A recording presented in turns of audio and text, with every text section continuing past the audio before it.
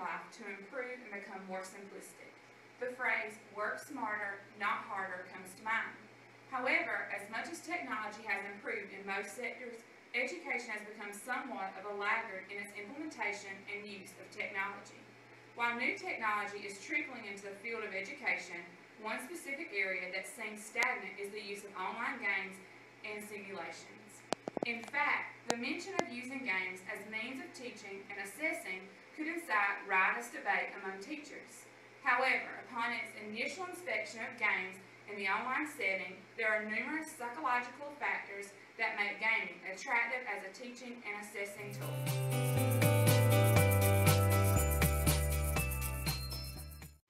First and foremost, games have permeated society to begin with. Most children and adults spend free time and energy playing various games. These games range from arcade-style games to word games to simulated role-playing games. In fact, mobile technology allows for constant gameplay, even allowing for synchronous competition among players in different locations. Secondly, and most importantly, students of all ages are passionate about games. Teachers often cite lack of motivation as a deterrent for learning, but if teachers could tap into passionate topics or means of instruction, students will become highly motivated, stimulated, and ultimately engaged. Project Tomorrow, an organization concerned with implementation of educational technology, educational technology cites some very interesting data to support students' interest in online gaming and simulations. 44% of students in grades 6 through 12 say gaming would make it more interesting to practice problems. Also, 46% of students say they would learn more about a subject if it were presented in a game. While we cannot rely on the feelings of students as a mean of what will work and what will not work, it is obvious that students' motivation is a favoring factor in using games as a teaching and assessing tool. Besides student motivation, there are academic reasons for using gaming as well as in the educational setting.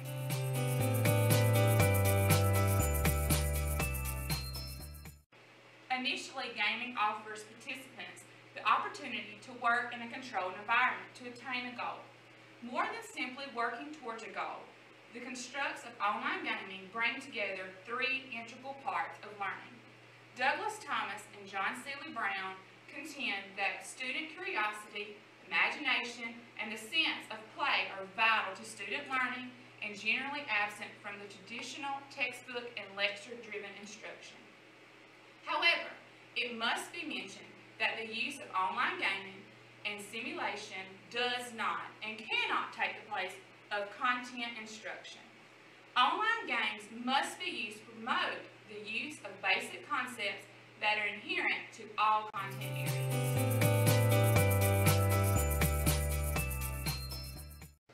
Dean an Australian educator and supporter of games in the classroom states, it's not about what you learn by playing the game, but how the game can be used to foster inquiry skills. Critical thinking and student learning. The academic benefits go much further than simply learning. Online gaming and simulation require students to apply critical thinking and to work collaboratively or individually to solve authentic challenges.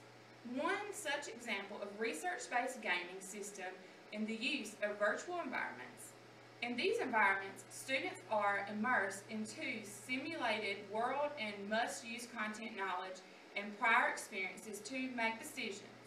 Students then analyze the results of their decision through the game.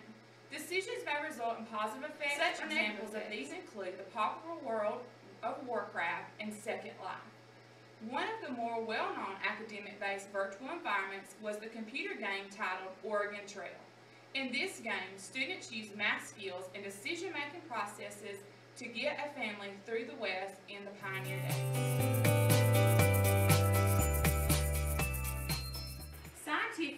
Playing games also has the potential to improve brain function and the mood of a person playing the game.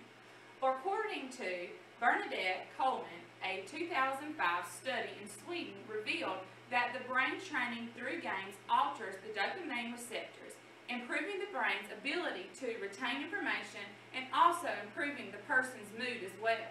Using games that are interesting, fun, and engaging have the potential to produce the best results.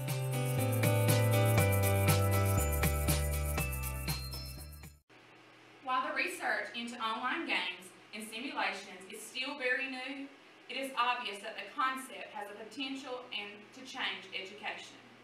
Research is still being conducted and is not conclusive as to whether gaming is more effective than the traditional linear presentation of content with paper and pencil assessment.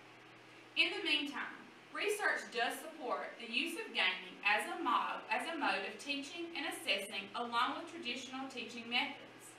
To ensure that you know all the ins and outs of online gaming and simulations, I want to introduce you to the keynote speaker of the day as she delves deeper into the world of gaming and simulation as its ramifications on the world of education.